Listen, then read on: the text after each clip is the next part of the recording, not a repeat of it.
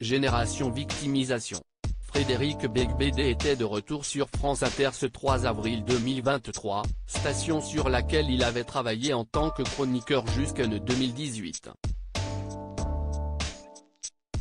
Cette fois-ci IST pour parler de son dernier livre qu'il est entré dans le studio face à Sonia De Villers. Dans Confession d'un hétérosexuel légèrement dépassé, Albin Michel, l'écrivain constate à quel point sa génération se plaint.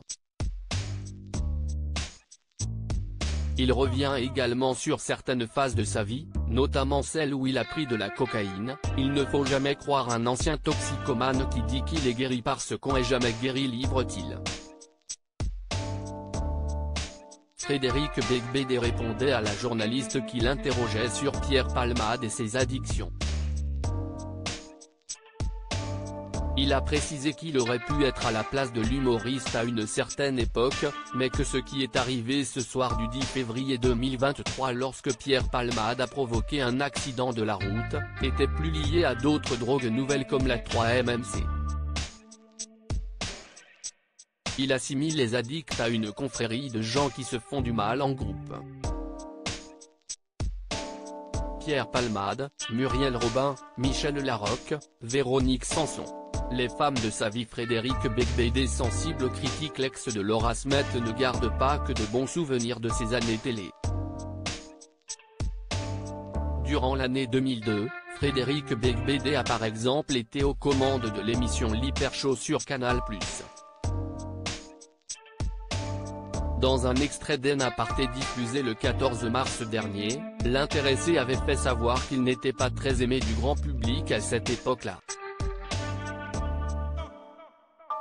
L'hyper show, ça reste assez éphémère et si est là où vous agacez un petit peu? Les critiques sont même assez virulentes, a rappelé la journaliste Nathalie Lévy. Et son invité de réagir, je comprends tout à fait. Je crois que les gens avaient un peu raison. Ce n'était peut-être pas complètement au point.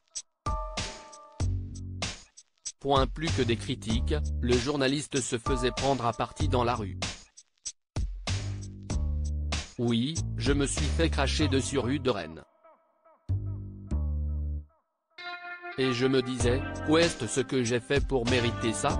Je n'aille tuer personne, j'ai juste fait une émission quoi.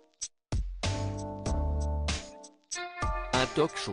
Mais il arrivait à un moment de la chaîne qui était un moment compliqué, a confié ce papa de trois enfants, pour justifier les critiques dont il a fait l'objet à l'époque.